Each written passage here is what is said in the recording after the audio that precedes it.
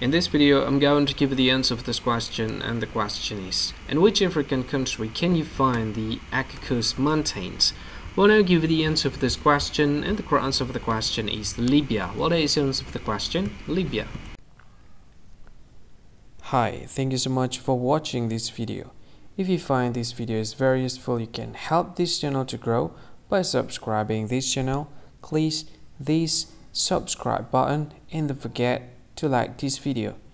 And if you find this video is not really good or you don't really like this video or you kind of feel that it's a little bit offensive or something like that, you can click this one, dislike button. You can do that anyway.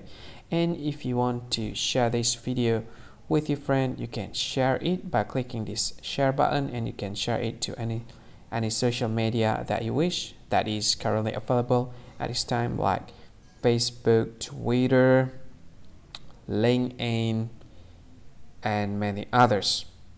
Right? And if you want to add this video to your playlist, you can click this one. You can watch this video later and you can find more options by clicking these three dots.